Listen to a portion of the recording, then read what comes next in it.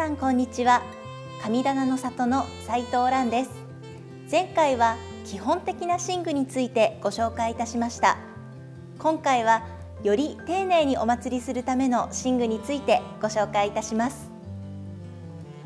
神棚の上を人が歩くことは神様に対して失礼になってしまいます。神棚がある部屋の上に別の部屋がある場合は雲文字を天井に貼ると良いでしょう。そうすることで神棚の上には何もないですよという意味合いになります。雲文字には和紙でできているものや木製のものがあります。神経は三種の神器の一つで神様のよりしろとなるものです。お札を神棚にお祭りした上で正面に配置します。神様をお祭りする神具であるとともに鏡と対面することで自身と向き合い神前に立する心につながります。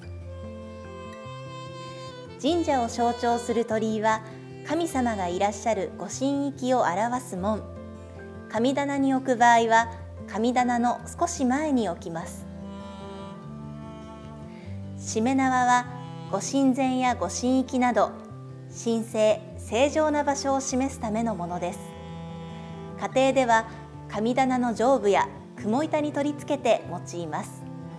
その際しめ縄にはしでと呼ばれる紙をつけます。年末には新たな年を迎える準備としてしめ縄を交換する習わしがあります。散歩は神棚に新鮮をお供えする際皿や水玉など寝具を乗せるために用います。散歩には見舞足散歩や長散歩お敷などさまざまな種類のものがあります。神棚へ散歩を置く際はへそと呼ばれるつなぎ目の部分が自分の方を向くように置きましょう。八足台は散歩と同様に新鮮をお供えする際に寝具を乗せるためのものです。足が8本あることから八足台と呼ばれています。正柿とは神棚の意義を整えるための寝具です。三種の神器である勾玉鏡剣が備えられています。神棚に向かって右側に勾玉と鏡左側に剣がついた正柿を配置します。神社でも目にする灯籠本殿や参道を照らし厳粛な雰囲気を作ります。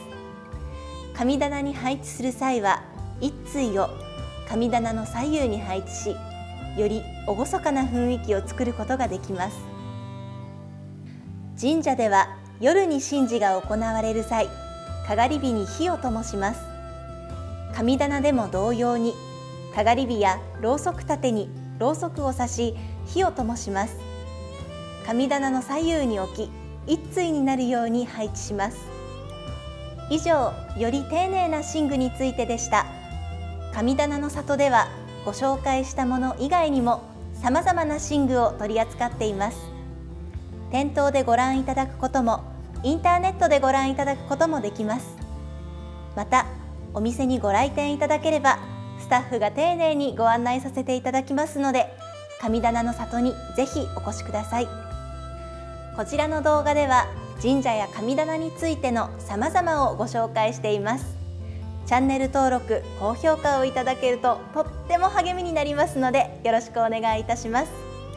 LINE、Instagram、Twitter でも活動しています。概要欄にリンクを貼っておりますのでそちらもぜひご覧ください。それではまた次回の動画でお会いしましょう。斉藤蘭でした。